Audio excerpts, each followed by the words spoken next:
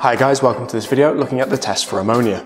Now in your normal science lessons, you should have done tests for all the different gases, hydrogen, chlorine, oxygen and carbon dioxide. This is the fifth one that you need to know and the final one, which is for ammonia. Now, if you're doing your research on ammonia, you may have come across the fact that it has a characteristic smell. This is not confirmatory. It doesn't prove that that gas is ammonia. What you have to do is use damp red litmus paper. And ammonia turns damp red litmus paper blue. So if I show you that on the right hand side here, I have two chemicals, ammonium nitrate and sodium hydroxide. When I react them together, it makes ammonium hydroxide, which when you heat, gives off ammonia gas.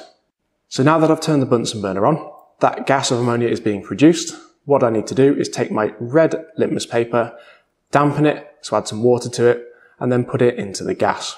And as you can see on the right hand side here, that gas has turned my damp red litmus paper blue. And that's really all there is to it for this video. So when I move on to the apply section in a minute, I'm presuming you know the test for the other four gases. If you don't, there's a playlist in the top right hand corner appearing now. Watch that first and then have a go at the questions coming up. Okay, the question is, two boiling tubes with colourless gases are found in a lab. However, the labels have fallen off. The labels read chlorine and ammonia. Describe a test to prove which gas is in which boiling tube. Three marks. Pause the video, have a go, we'll see how you've done in a minute.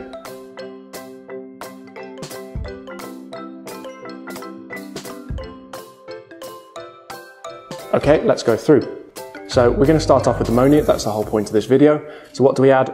Damp red litmus paper. That gets you one mark. And then you need your confirmatory test, which is it will go blue.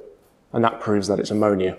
So one mark for damp red litmus paper, one mark for it turns blue if it's ammonia. And then the third mark is for saying if it isn't, how can you prove it's the other? So chlorine, that's damp blue litmus paper, and if it bleaches, you have chlorine present. That is everything you need for this video. I have got a review question for you, which is three boiling tubes with colourless gases are found in a lab. However, the labels have fallen off. This time it's hydrogen, carbon dioxide and ammonia. Describe the test to prove which one is which. Thanks for watching.